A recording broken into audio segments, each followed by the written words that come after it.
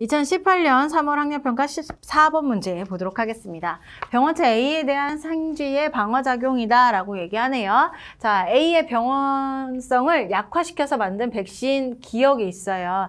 자, 이것을 생쥐 1한테 주, 주사를 하고 그 다음에 2주 후에 혈청 니은을 얻었다라고 얘기를 하네요. 자, 백신을 넣었기 때문에 항원을 넣은 거나 마찬가지고요. 항원 항체 반응에 의해서 요때에 항체가 만들어졌을 겁니다. 항체. 선생님 기억세포는요? 네, 기억세포도 만들어졌겠죠. 그런데 혈청에는 항체 얇, 작은 애들만 존재할 수 있고요. 그 다음에 혈액 속에는 혈구인 이제 큰 애들, 백혈구의 종류인 뭐 기억세포라던가 비림포구라던가 티림포구라던가 이런 애들이 존재할 수 있어요.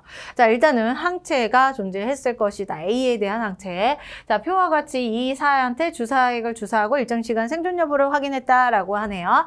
자, 주사 A를 주사를 했습니다. 항원을 주사한 거예요. 그랬더니 얘는 죽어버렸어요.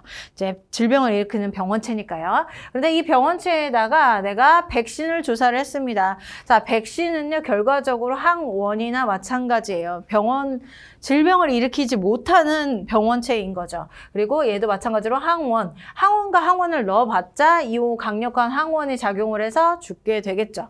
자, 그런데 항원에다가 내가 니은 혈청 항체를 넣었어요. 항체를 넣었더니 그러면 항원 항체 반응이 일어나면서 이 항원이 작동을 못하겠네요. 그래서 살게 되었다. 백신의 효과를 보았다라고 볼 수가 있겠죠. 자, 보기로 갑니다. 기억을 주사한 1에서 지금 백신을 주사했다는 얘기죠. A에 대한 항체가 생성되었다 볼 수가 있어요.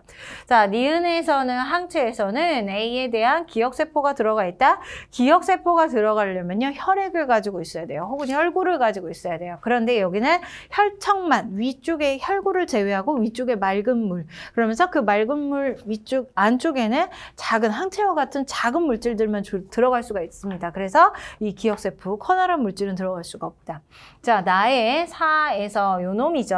항원항체 반응이 일어났다 맞는 말이 되겠습니다. 기억과 디귿이 정답이기 때문에 우리 4번이 정답이 되겠네요.